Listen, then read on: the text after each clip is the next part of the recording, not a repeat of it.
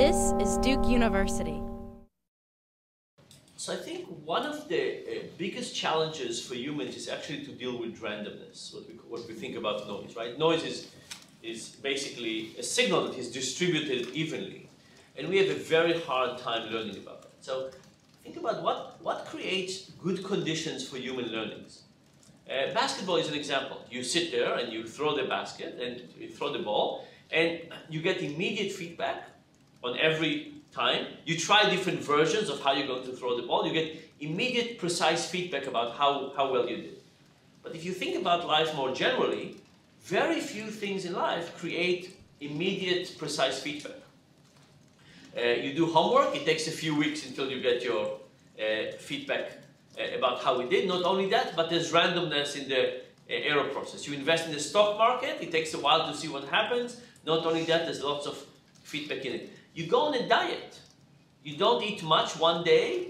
The feedback of when it's actually going to kick in is going to be delayed and going to have a big stochastic element, a big random element. So I think for me, how people deal with randomness is incredibly uh, important, and we do a really bad job. That's, by the way, why I believe people have superstitions. Right? You're a baseball player who didn't change your underwear two times. Things worked well. You say it must be that, right? That's the rule a deterministic rule. We don't do well with things that have random components because when we infer things, we try to infer a deterministic rule. Now what's happening is that in the noise, there's some signals that are uh, available in principle, but they're available to statistical software and not much to human beings. The moment we look at a big set of data and we try to impose deterministic rules on that data, we end up missing the essence of what's what's going on. So for me, that's actually a good, a good metaphor to think about. Here is something that we just miss when we look at data. Computers are really good at that. We pick patterns that don't really exist. We're really good at picking patterns, but we're really good at picking patterns that don't really exist. Interesting, and, I, and to tie this to literature, I think uh, I agree with that about superstition, and I also think that sometimes storytelling is about trying to find a pattern to all the randomness of life, right? There's certain plots that recur over and over again. It's why we tell children fairy tales or stories, bedtime stories, and why kids might even want to hear those stories over and over and over again. It does seem to make the world more rational and coherent. It's nice to think of ourselves as having a plot when we know that everyday life is a lot crazier than that. Um, I have a, I'm going to tell a story actually because um, your example of the basketball and the immediate feedback reminded me of an incident in my own life when several years ago I was in a, a big accident and basically um, had to have an arm replaced. And I would sit in the therapy pool with people who would tell me over and over, oh, physical therapy doesn't work. And I'd say, oh, really? And they'd say, yeah, this is the third time I've had this operation and I don't do the physical therapy, it never works. And I think, well, wait, Maybe you're having the operation three times because you're not doing the physical therapy. And there was one elderly man in his 70s who said to me, actually, you know what you need to do is you don't need to hang around with those people in the pool who aren't doing rehab. You need to come between 4.30 and 5.30 every day to sports rehab. Because that's when the, in the, in the night, no, no, in the afternoon. It's when the basketball players were there, the Duke basketball players were, re, were practicing with the, either re, rehabbing themselves or learning how to be better. Because they were getting constant positive feedback about everything they did. There was one player who shall remain nameless who was learning how to jump higher. And it was great because they had this stick with a little flag on the top. And he would run and jump and get the flag. And they'd say, oh, that's pretty good. And he'd turn his back and walk away. And they would put the flag intentionally higher than he could reach. I would be able to see this, but he didn't know this. So that when he would come to jump again, he wouldn't make, he wouldn't get it. And they, they'd say, wow, you sure didn't do well that time. And he had no idea that they were manipulating him. But I could see this, but it was also clear that he was jumping higher. So it was like, suddenly I had a metric for it. If I do this boring, really boring work, it was eight hours, it was, you know, several hours a day, every single day, it will lead to something. But that was very artificially imposed. You know, it was watching somebody improve to trick myself into believing that if I did this, I would improve too. And I think that's really a lot about storytelling. The kind of stories not only we read, but the stories we tell ourselves in order to motivate ourselves.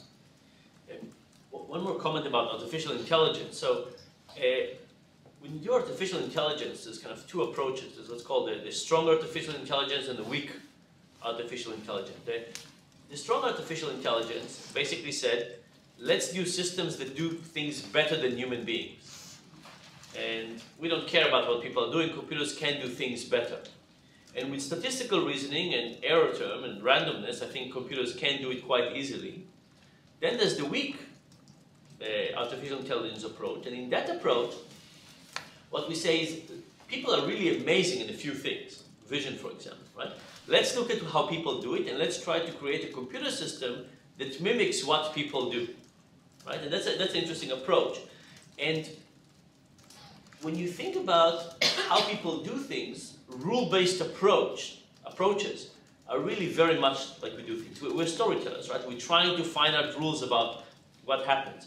And in the cases when rules happen to be a good fit, it's really a good approach to do it. On the cases when rules don't fit very well, rule-based systems basically break, break down.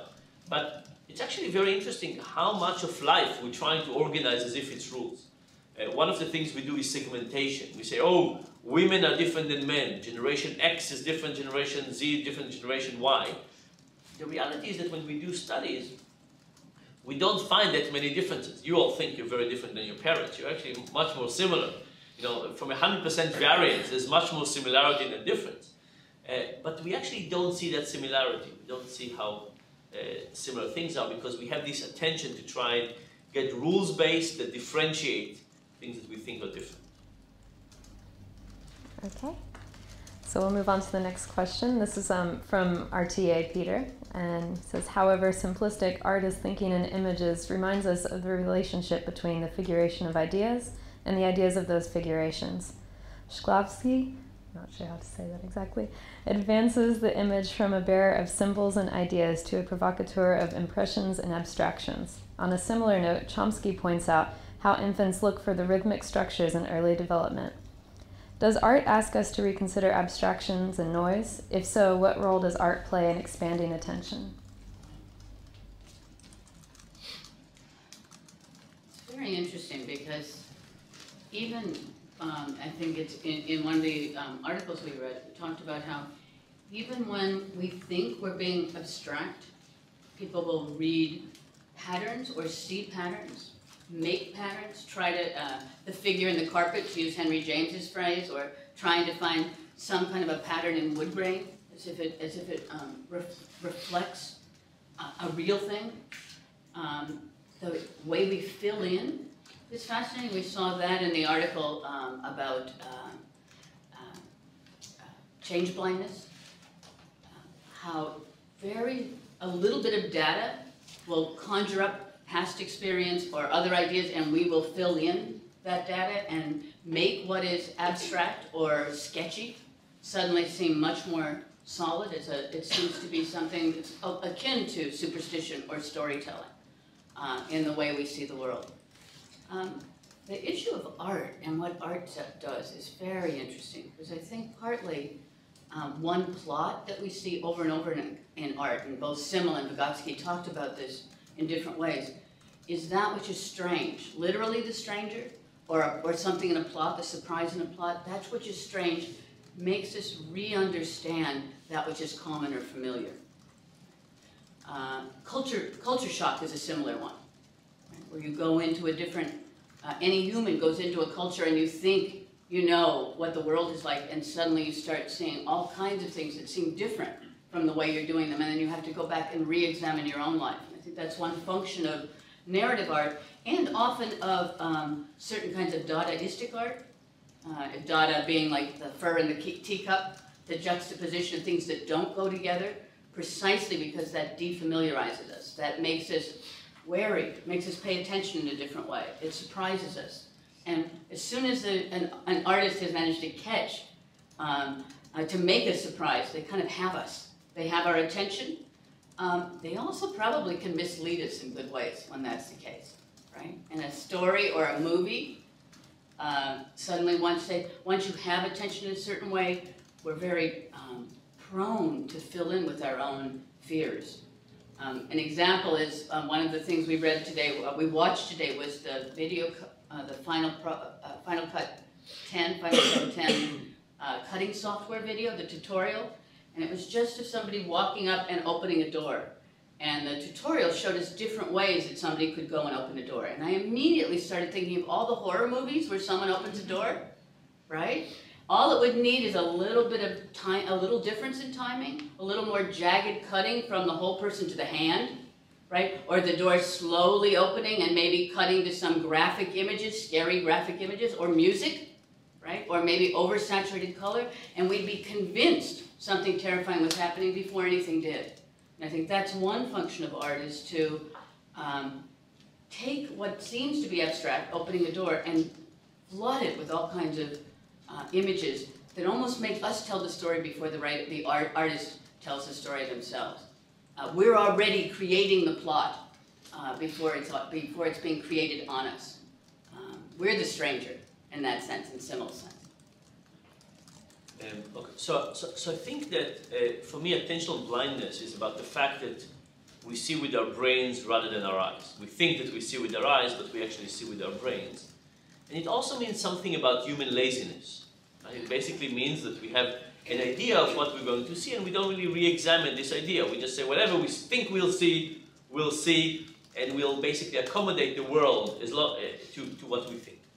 And if I think about the, the role of of art in this, I think you can think about two ways uh, to conceptualize this. One is you go about your life and you keep on expecting to see something else, and the question is what would stop you and make you pay attention? Right? So it's not giving you a different reality, but it's the same reality, but what would give you enough stir to start imposing your view on the world? What would stop you and get you to re-examine what it is that you're you're watching. That's one, one approach. And the second approach is to take you down a different path.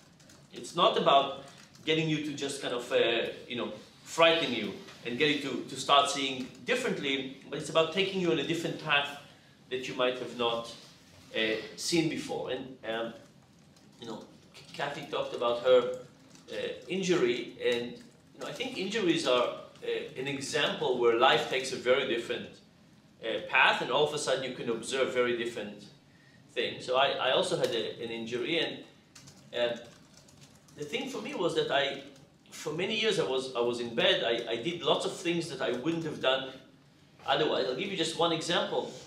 So for quite a few months I was fed by a tube.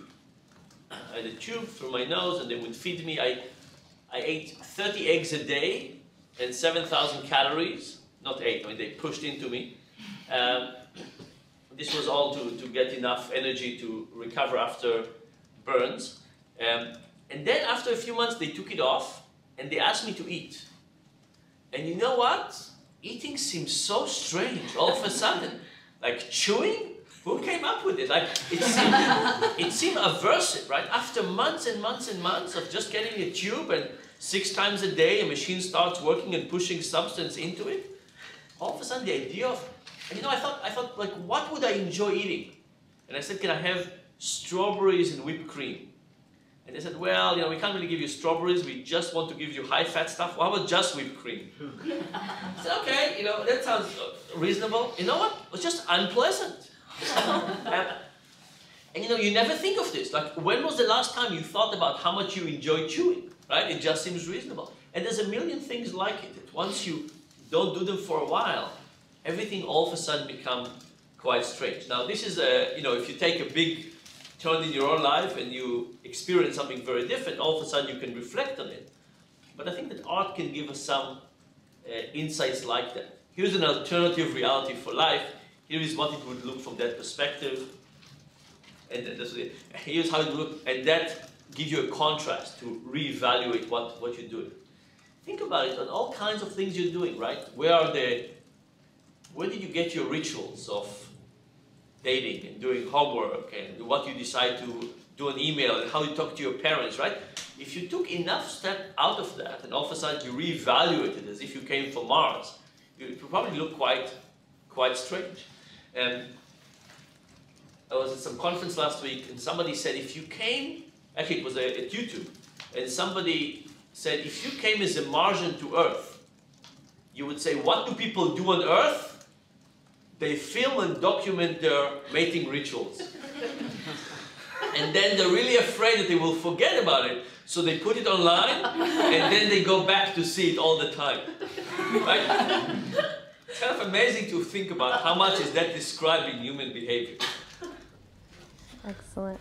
This is a question that comes from one of our students who uses the pseudonym Abu. Uh, one of the comments in the article by uh, Harvard Business Review user Mustafa Dara pointed out that if people hadn't been told to count the tosses and just watched the video, they would have probably seen the gorilla quite clearly. This leads me to ask the professors when educating, is it best to first show information and let students make their own conclusions, and then assign them tasks on the information, i.e., watch the video first with no assignment, then count the tosses the second time around? Do we currently do this in education? Well, the simple thing is if you aren't told to toss, uh, count the tosses, you always see a gorilla. And um, in the Harvard Business Review version of that, I told a shorter version. I just said I was dyslexic, so I didn't count, which is true, but it was also situational. I was involved in arranging the dinner uh, for the provost's office when I was a vice provost, at which we were showing that video. So I thought, well, first of all, it's going to be hard for me to count. And second, I have to worry about the caterer. Has President Brodhead gotten here yet? Is everyone seated? I was in charge of the event, so I wasn't watching the video. And it's weird when you see the gorilla video for the first time and you realize you missed a gorilla. It's a lot weirder to be in a room full of all these fancy Duke professors and you're seeing the gorilla and you're looking around and nobody else is seeing the gorilla, right? And that to me is a huge lesson and that's the learning part. I'm really glad that that was tied to learning because one learning lesson of that to me is you're in a room and everybody's saying there's no gorilla, and there's one crazy person who says, wait, wait, wait, there's a gorilla in that video, don't automatically assume that the person who says there's a gorilla in the basketball video is a nutcase. Right? You know, in other words, that's, that's probably partly what I was getting at, is one part of learning is being able to listen to the dissonant, the strange, the artistic, the creative, the unexpected voice, the thing that doesn't fit in, and being able to be attuned to information you might be able to get from that source that isn't seeing from the same perspective that you're seeing. In terms of learning and pedagogy, I personally think that the um, if you spoon feed somebody an interpretation, you're robbing them that they will. That's that's like counting the basketballs. You if you tell somebody in advance how to understand uh, an assignment, they will tend, if you're an authority figure, they will tend to see that explanation of the assignment. And one of the reasons I love having people blog um, by themselves or in reading each other's blogs but and blogging publicly, but before we've talked about the phenomena, uh, is precisely because everybody was digesting it in different ways. It was fascinating to go back and read and see how you took five or six really different readings and found connections, but not the same connections. If we had made the connections first, it would have been hard to see anything but those connections. Right? You would have had to be, you would have had to overcome knowledge in order to see some other connection. But you had the advantage of seeing 30 people make different kinds of connections between pretty disparate work. That to me is really rich, and that to me models how you can learn despite attention blindness. Because you basically got to see 30 different people interpreting the same, you all had the same experience, right? You all read the same reading, but you interpreted them and committed to an interpretation of them in basically 30 different ways. And there was a lot of variation in, in what people chose to make connections by. So th that for me is the methodology of, of attention blindness applied to learning. Uh, so um, when I when I showed the gorilla movie or one of those things. I said the gorilla movie. I tell people count the number of people, the, people, the time people in the white t-shirts count the ball to each other. And then I said, just realize that there's been many, many studies showing that people who've done well on this task live longer and have better job promotion. And then I say, on top of it, when the 30 seconds are over, I'll ask you to tell me aloud how many hands you saw pass. And if you get it wrong, the people sitting next to you will think you're incompetent. So I basically try to elevate the attention, right? Because who wants the people sitting next to them to think they're incompetent? And you see a big shift in the percentage of people who don't see the gorilla, right? So it is about paying attention. And the more attention you're paying to one thing, the less attention you pay to the other thing. That's, that's kind of the basic, the basic story. In terms of education, I think there are some things in which education is about what you should pay attention to. And I think in that case, we have a duty to help students to figure out what to pay attention to. So the field of decision making in general uh, has shown that individual differences matter much less than the differences in the environment. Right? If I put you in a different line in the cafeteria, you'll eat very differently. Right? If I tell you things about dieting, it will not matter so much. So in, in a case in which you can focus on individual differences, you can focus on environmental differences, I would like not to let you decide for yourself which one is right and which one is wrong, but to help you pay attention to the things that we have found out over time make a bigger difference. But there's this other point about overforcing a framework. And I'll tell you one story about this. So this was maybe my third or fourth year as a professor, an assistant professor or associate. And, and I'm teaching in a class of executives. And I'm teaching them introduction to marketing. These are people who are all worked for many years. Uh, I was teaching at the time at MIT. They came for a year program, very prestige program. They're paying a lot of money. And they're telling me that they want frameworks. And I said, don't worry about frameworks. Let's just learn the material. And they keep on telling me they want frameworks, they want framework, like, you know, a two by two or some box and arrows. And I try to refuse. And then they, I get the midterm evaluation and they hammer me. They are my customers, they want frameworks, they need frameworks, where are the frameworks? I come to class the day after the midterm evaluations and I say, you know what, I listen. You told me you want framework, today we're going to do frameworks. Finally, they take their pencils out, they're all ready. And I say, in marketing, there are two important frameworks. The FN framework and the LN framework. And the FN framework has three components. The first one is design. Why is design important? People raise their hand, they participate. Uh, adoption, adoption of products. Why is that important? People raise their hand, participate, and new products. Very good. We covered the first framework. Then we move to the LN framework. And this one is more complex, it has six components. Attitude, research, image, education, learning, and finally yield. And this takes about 45 minutes, maybe half an hour. We talk about all the nuances, why, why is each of those elements so important and so on. Everybody's really happy, like the energy in the room is fantastic, right? We finally learned something, there are frameworks. And then I tell them that like all good frameworks, these frameworks also have acronyms, because that's a crucial thing, right? So the FN framework is Design, Adoption, New Product, D-A-N. And the LN framework is Attitude, Research, Image, Education, Learning, Yield. Anyway, FN is first name, LN is last name, they spell my name. And the students were pissed off. it was, I got the worst uh, ratings I ever got for a class. And they had no sense of humor, clearly. But here's the thing, at the end of the semester, the students had to submit papers and to uh, analyze some problems. And three of the groups used the FNLN framework. and they said, you, we know you made fun of us, but it's helpful. and I think that's kind of the danger, right? You can create a framework that is basically, it took you five minutes and constrained by your name. And if people start thinking about the world from that perspective, it's basically attentional blindness. They can fit whatever fit into that world. It seems like it's a good idea, and then they just go on with it. It's much easier to do than to actually keep an open mind and to think about how you want to analyze and think about each problem. And I think it's very kind of uh, intoxicating to go into the FN framework. Excellent. Okay, we'd like to ask um, the student who uses the pseudonym Kanga or Kanga their question as our final question. What are you two blind to? How do you compensate?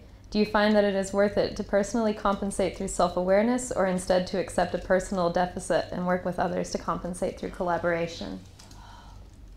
Um, you know, I, I'm the I'm one of the people who's involved in this organization HASTAC that I co-founded, and our method is collaboration by difference. So we actually have a methodology. There's 10,000 people. Our methodology is actually to try to always have somebody in a group who doesn't share the assumptions of the group. We also trick ourselves. We'll have sometimes somebody, com- a complete stranger, come into the group and be part of a meeting. Uh, a few weeks ago, we asked somebody who does housekeeping in the Franklin Center and the Franklin Humanities Institute to join us. Oh my goodness. If you want to know what really happens in a building, ask the housekeeper. Right. The person who's often treated as if they don't exist. She had a pretty great idea of who the nicest people in the building were, who were the most considerate people in the building, and of how the building actually functions and doesn't function. And that was one thing we talked about, but then we also talked about what we were doing and how learning works. She was phenomenal. I mean, we learned more about her, but we also learned more about ourselves and our assumptions and what it means to be at an elite university, uh, who, which is supported by, I think, thousands. I think that's right, I think, I don't remember how many people Duke employs. How many people is it? It's thirty thousand. Thirty thousand people at Duke, only a tiny percentage of which are faculty, and not a very large percentage of which are students, right? And we have all of this supported by people who um, work very, very hard to make this available, but who often are not um, part of the conversation. So I would say I, I consciously use attention blindness as a methodology to help my organization be as innovative as possible. We're dedicated to informal learning in school and out of school, lifelong learning, not just college education. And to, to think about new modes of learning, uh, including for people who could never even dream to afford a Duke education. Uh, in my private life, I still stub my toe like everybody else, right? I can know all this, that's the frustrating thing about attention blindness. You can know all of this. Um, so actually, that's some, in some situations, I am hyper vigilant. I will say to myself, wow, I'm so stressed out today and I've got so many things, I have to be really careful driving.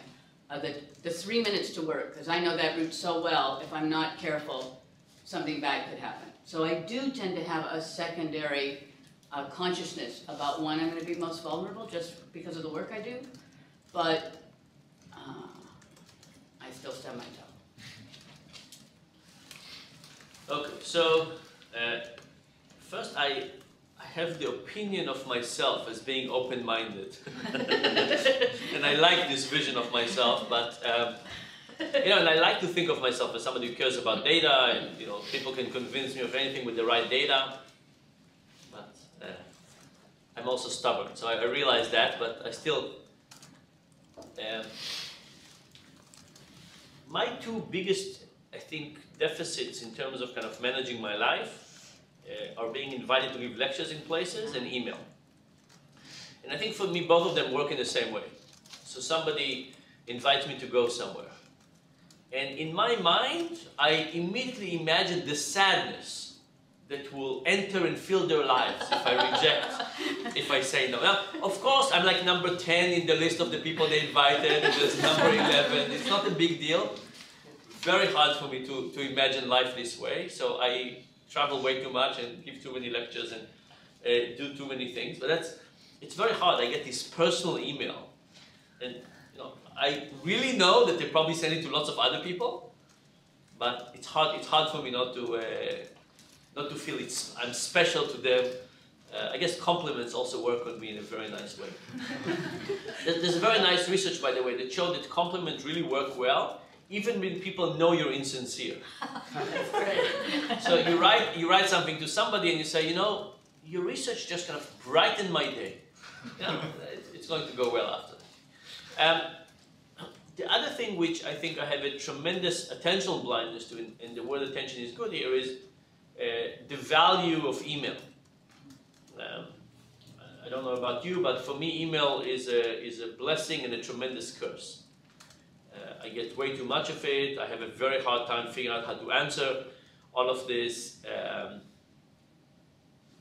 and, and I think two things happen in email. One is I have a very hard time not responding to email. I have people who write me very nice emails and want to have some question to ask, and, and I have a very hard time ignoring it. But at the same time, if I keep on answering all these emails, I'll never get my work done. I'll never sleep. I'll never do all those all those other things. And then the other thing is that I think that the way I do email uh, really interferes with my attention. So um, I think I do email way too much. Uh, sometimes I sit in meetings and do email, thinking wrongly that I can do both email and pay attention to the meeting, but uh, not able to do it. The only time I'm being called up on it is when I talk to my mother. She actually knows. She's like a sixth sense for detecting and talking to her and on email at the same at the same time. But for me, that's that's a big attentional problem, and I'm kind of aware of it to some degree, but not fully aware, and for sure have not taken any steps to remedy the situation.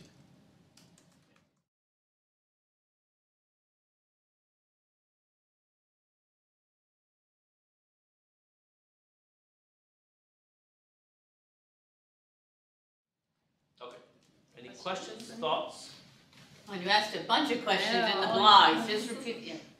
So I know that I know that the two of you um, work with a lot of companies and help with their management. And um, based on the blog that you wrote, Professor Davidson, um, how would the two of you recommend um, to management executives um, on how to create organizations in which you can have you know, groups of people from diverse backgrounds in which they can actually see the whole picture and not necessarily need people um, to come in from the outside and actually point those things out to them.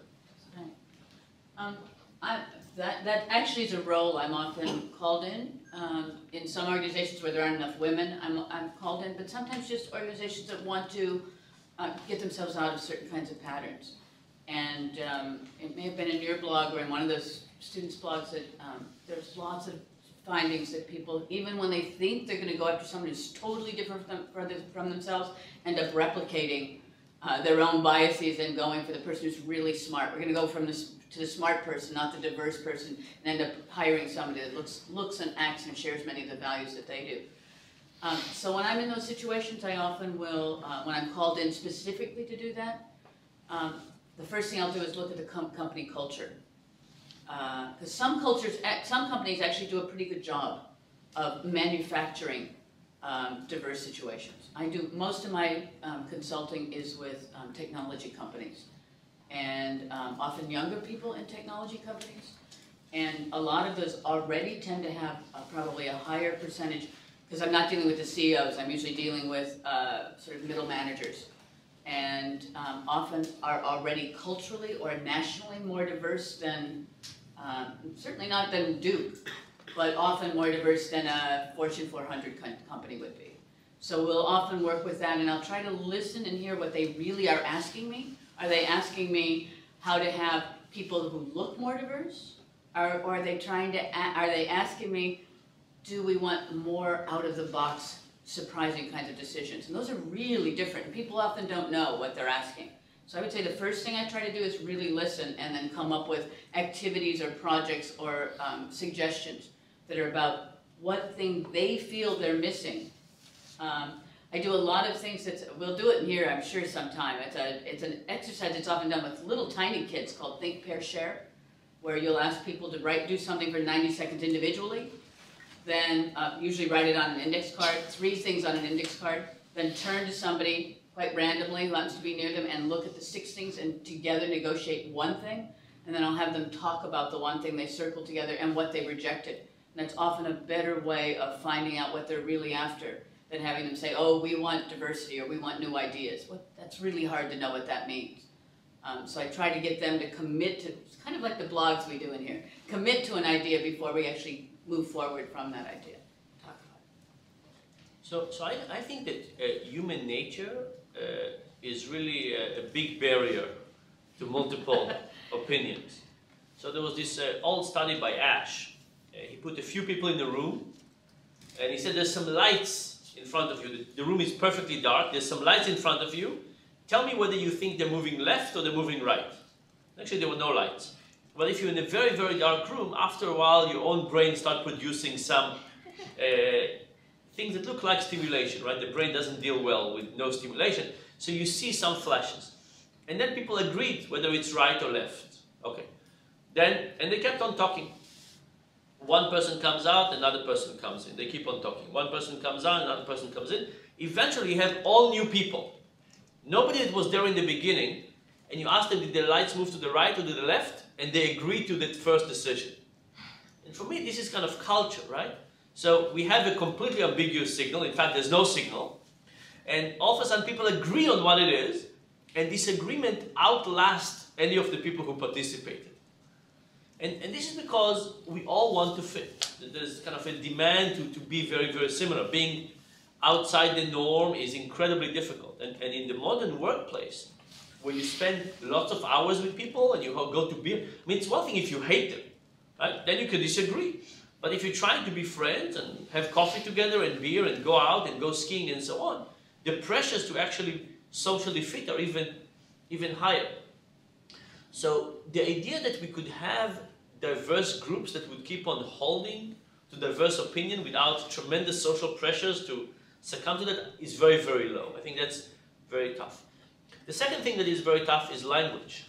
So I think language is a coordination mechanism, right? As a we can decide on some acronyms, so we can decide what a particular word uh, means. And the moment we decide on some terms and some usage of language, all of a sudden it's very hard to express other opinions. It, it's a little bit like the attentional blindness that when you have a particular word, all of a sudden this word defines things for you. You think about life from that perspective. And for organizations to become efficient, they do invent all kinds of words. You go to any organization and they start talking in acronym incredibly quickly because it's an efficient thing to do. So I think when you get a new group, you can have a few diverse opinions, but as the group stays together for longer, I think it's a very it's a losing battle and if you just leave it to human nature. My my hope come from something called prediction markets. So if you remember there's something called the Iowa presidential markets. When people basically predict, they actually buy and sell options of who will be the next president. And over quite a few years, these prediction markets have done better than any poll. Now, how do these markets work? It's a bit like the stock market. You don't try to get together and sing kumbaya and agree. On the contrast, if one president's share is higher than the other, and you think that's a good reflection of life, you would not participate in the market. But if you think somebody has it wrong, now you would buy or sell a particular future of a president. And it's interesting, you know, I'm not a big fan of the stock market as the optimal thing for financial uh, outcomes, but if you think about a market for information, that's actually quite a good mechanism. Basically, it says that if we have three different options, and if we have all of these options have some, pri uh, some prices attached to them, if I think this option, these things in the market reflect the relative value, I'm not going to participate. If I think you all got it wrong, I will sell short, I will buy, I will do something that would reflect my opinion. And there's lots of mechanisms like this. There's the Hollywood Stock Exchange to try to predict uh, how much movies will gross. And there's all kinds of, there's ideas for companies to promote ideas internally. But what's interesting about it, it's anonymous. And you're not trying to get the group to work together. I think every time we all get in a group and we get to decide together, the forces of groupthink are too many. But technology can help us to separate people, get them to, to anonymously to fight with each other. And I think in some cases the outcome of this fight is actually going to be uh, better. So when you think about people being diverse, I think there's of course what their opinions are, but there's also what environment do you put people in, and is the environment going to get people to just say the same thing after a while, or is it truly going to maintain some difference of opinions? Okay, we have three minutes left for one last question, a quick question. Darius, I think you're Johanna first. So in trying to encourage a diversity of opinions, what's the power of incentives? Have there been studies, in other words, which look at incentivizing someone, you know, for, for example, offering a reward for pointing out a major flaw or pointing out the proverbial, you know, gorilla in the room? And do these programs work or do they pit employee against each other? you know, I would look at Wall Street. They're interested in Wall Street, but you know, so there have been a few people who bet against the housing market, but there were very few. And it's hard to know in retrospect if those were people who were particularly smart or they were just lucky. There's always some people who vote against something and it just happened to be uh, to be like, oh, if they knew something that other people didn't know, which is also uh, seemed to be one of the cases. And I think the bubbles we see in the financial market, when you have strong people with incredible wisdom, computer models, and so on working for them, professionals, um, and tremendous incentive to bet against that. The fact that we still see bubbles tells me it's a very tough uh, human quirk to get over. By the way, bubbles are one of the easiest things to generate in the lab.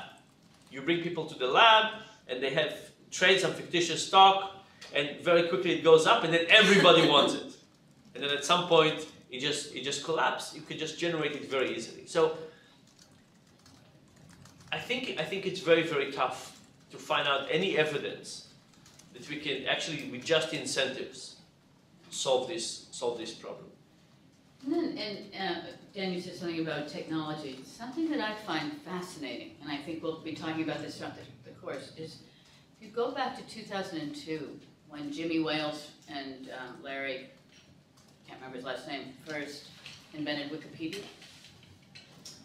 They're not paying people to contribute. It's anonymous contribution. They thought maybe two or three hundred people would contribute. And now it's the sixth most trafficked site on the World Wide Web, and the National Archivist of America says it's more reliable than any other uh, worldwide encyclopedia. Why? Why did people want to share what they knew with other people? Or on Yelp? Or on medical help, helpless. Why do people, what is it about people that makes them want to contribute? And contribute in different ways. And it's not really incentive right? What's your incentive for contributing to Wikipedia? We would, rational choice economic theory would say you had to pay somebody, you had to reward somebody, you had to give them an incentive, but people do it. And that to me is kind of an interesting um, phenomena and mystery and inspiration of our particular moment. And I hope we get to talk about that more because I think it gives us a different, uh, perplexing, and fascinating kind of view of human nature to think about why we do want to be crowdsourced, why we do want to participate in some kind of knowledge sharing that might tell what we know, but also help somebody else to know something. Fascinating. What's the one last thing about um, Wikipedia is uh, my age on Wikipedia is actually wrong. And I tried to fix it many times, and somebody uh, makes me a year younger, and I, I, I gave up the fight. Um, and the last thing I should say is that every time I personally want an opposing opinion, I just call my mother. Good advice for all of us.